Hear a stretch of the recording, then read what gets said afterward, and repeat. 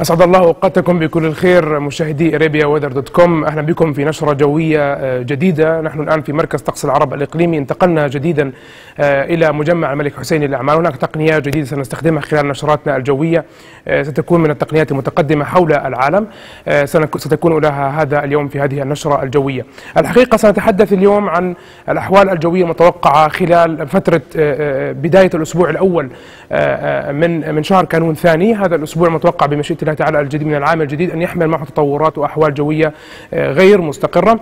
راح نتحدث أيضا أكثر عن فرصة هطول الأمطار تساقط الثلوج الذي نتحدث عنه عبر الأخبار التي نشرت قبل قليل بأن هناك فرصة كبيرة لتساقط الثلوج خلال الأسبوع المقبل. قبل الخوض في هذا الحديث سنتوجه أكثر إلى الأحوال الجوية المتوقعة في عطلة نهاية الأسبوع الحالية والتي ستتصادف وجودها مع رأس السنة الميلادية إضافة إلى المولد النبوي الشريف.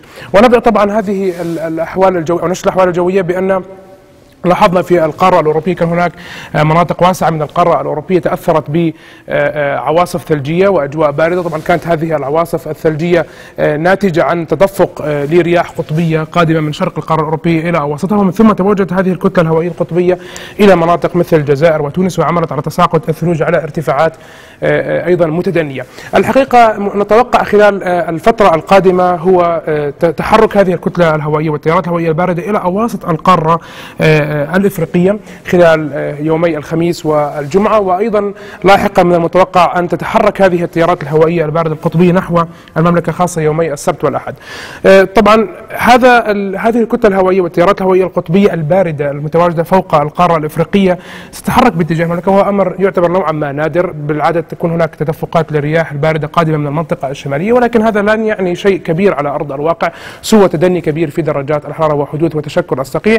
وبالواقع الصقيع متوقع يتشكل على أجزاء واسعة في حدث نادر للوطن العربي يشمل أغلب المناطق الشمالية للقارة الأفريقية المحاذية للبحر الأبيض المتوسط إضافة أيضا إلى الحوض الشرقي للبحر الأبيض المتوسط. يتصادف بمشيئة الله تعالى خلال فترة تأثير هذه التيارات الهوائية الباردة دخول منخفض جوي يوم السبت في المنطقة كما نلاحظ الشمالية لتركيا وسيعمل هذا المنخفض الجوي بمشيئة الله على هطول الأمطار خلال ساعات نهار يوم السبت وليلة السبت على الأحد في أغلب المناطق الشمالية والوسطى. طبعا كما نتحدث أيضا في نفس الوقت على أغلب المناطق الشرقية المحاذية للبحر الأبيض المتوسط. أيضا هناك فرصة لتساقط بعض الزخات الثلجية ليلة السبت على الأحد خاصة فوق مرتفعات جبال عجلون وجرش التي تزيد ارتفاعا 1200 متر على سطح البحر أيضا مرتفعات العاصمة عمان قد تشهد بعض الأمطار التي توصف بأنها مخلوطة بالثلوج مع ساعات فجر يوم الاحد كنتيجة كما ذكرنا يتصادف وجود هذا المنخفض الجوي في الأراضي التركية مع تحرك التيارات الهوائية الباردة القادمة من القارة الأفريقية وهي تعتبر بقايا للكتلة الهوائية القطبية التي أثرت سابقا على المناطق مثل أوروبا وتونس وأيضا الجزائر. بالانتقال إلى الأحوال الجوية المتوقعة عفوا خلال الفترة القادمة نتحدث عن مرتفع جوي في أغلب مناطق جنوب غرب القارة الأوروبية، هذا المرتفع متوقع ان يتمركز لفترة طويلة من الزمن نوعا ما وهو سيكون مسؤول بمشيئة الله تعالى عن تأثر المنطقة الشرقية للبحر الابد المتوسط بما فيها المملكة بما يسمى بسلسلة من المنخفضات الجوية خلال فترة شهر يناير كانون ثاني للعام الجديد، طبعا يعود السبب إلى وجود هذا المرتفع بشكل واضح فوق جنوب غرب القارة الأوروبية، تدفق للمنخفضات بالدوران حول هذا المرتفع ومن ثم دخوله إلى شرق البحر المتوسط وبالتالي تتأثر المملكة حينها بمنخفضات جوية متتابعة ليس شرط أن تكون جميعها مثلجة إنما قد تكون بعضها ماطر وتختلف بالفعالية الجوية وشدة الأمطار ما بين منخفض وآخر. هذا هو الحال المتوقع خلال تقريبا معظم أيام شهر يناير كانون ثاني. متوقع أن يبقى هذا المرتفع الجوي موجود في فترات طويلة وبالتالي تكرر تأثر المملكة بمنخفضات جوية. بالانتقال تحديدا إلى الأحوال الجوية المتوقعة خلال فترة الأسبوع المقبل كما ذكرنا. يبدأ هذا الأسبوع طبعا من يوم الأحد المقبل. هناك تغييرات متوقعة. كما ذكرنا دخول هذا المرتفع الجوي. دخول إلى هذه المنطقة من المتوقع أن يؤدي إلى تدفق كتلة هوائية باردة قطبية قادمة من شرق القارة الأوروبية مباشرة إلى المنطقة الشرقية للبحر الأبيض المتوسط كما سنلاحظ. وهناك متوقع أن تؤدي هذه الكتلة الهوائية القطبية إلى حدوث فعاليات جوية قوية نوعا ما. هطول الأمطار تساقط الثلوج رياح شديدة. وانخفاض واضح على درجات الحرارة خاصة أيام السادس والسابع والثامن من شهر يناير كانون الثاني.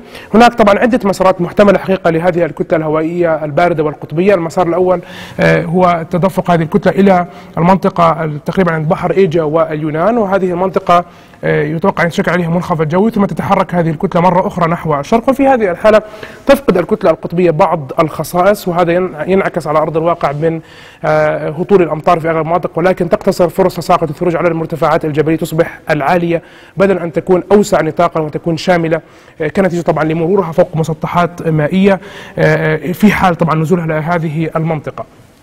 على الجانب الآخر لا يستبعد أيضا تهبط هذه الكتل الهوائية القطبية مباشرة إلى الحوض الشرقي للبحر الأبيض المتوسط وبالتالي عند وصولها إلى هذه المنطقة يتشكل منخفض جوي بمحاذاة حوض جزيرة قبرص ومن ثم تتأثر المملكة مباشرة بالتيارات القطبية وهذا يعني ازدياد فرصة تساقط الثلوج في أماكن وأجزاء أوسع بمشيئة الله تعالى في المملكة. خلال تلك الفترة التي تحدثنا عنها ما بين السادس والثامن من يناير كانون ثاني خلال الأسبوع القادم أو الأسبوع أول أسبوع من العام الجديد. الجديد لمن يبحث عن المعلومة أكثر عن تفصيل في في الحالة الجوية لماذا تختلف أحيانا مسارات الكتل والأحوال الجوية التي تتصادف معها؟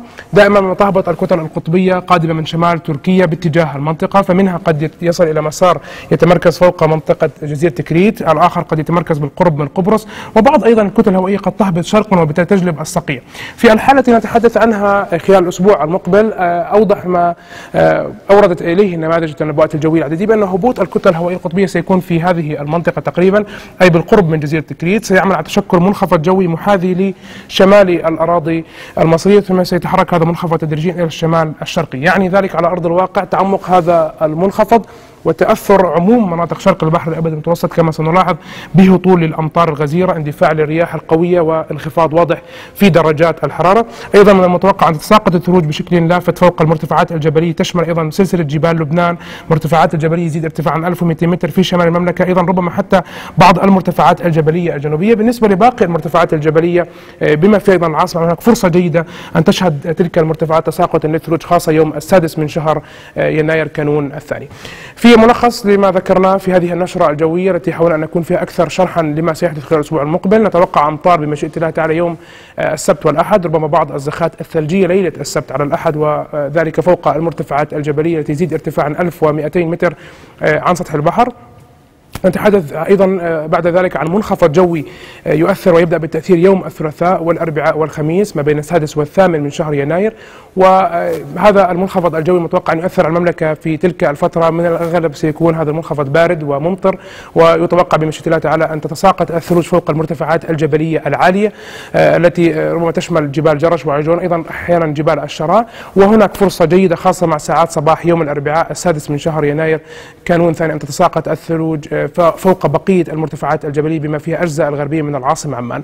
آه، هذه التوقعات الجوية تبقى دائما تحت التغيير. كون الفترة الزمنية نوعا ما ما زالت بعيدة نتحدث عن فترة ثمان أو تسع أيام آه، قادمة. سنبقى معكم على التواصل أولا بأول حول هذه التوقعات الجوية. نتأمل أن تكون هذه النشرة الجوية أعجبتكم. نتمنى لكم أيضا عام سعيد جديد. كل عام وأنتم بخير. إلى اللقاء.